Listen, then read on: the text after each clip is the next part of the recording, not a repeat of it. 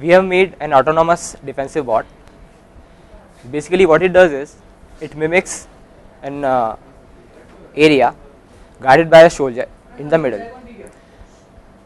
So, its main purpose is to shoot the enemy that enters the arena.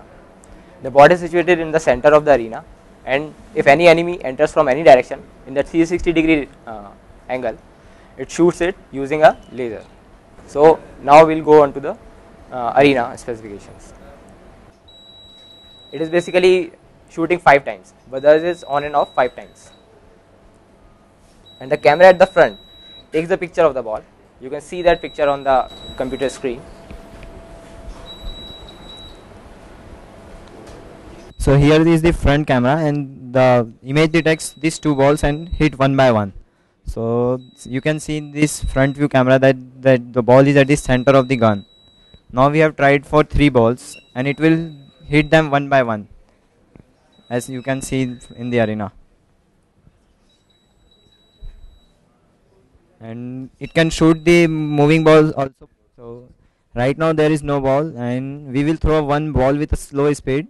In the bot will the camera will detect that ball and send the bot the angle.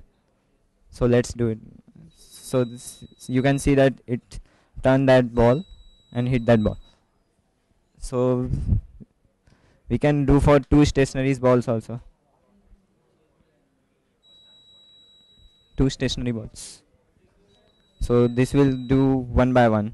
These are the two balls here and this is the front camera view.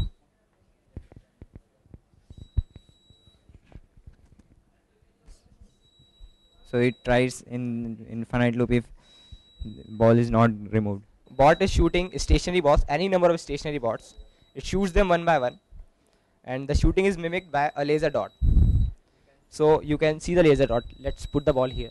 See, alternately it is shooting the laser ball, the uh, ball with the laser, and the laser dot is visible onto the ball.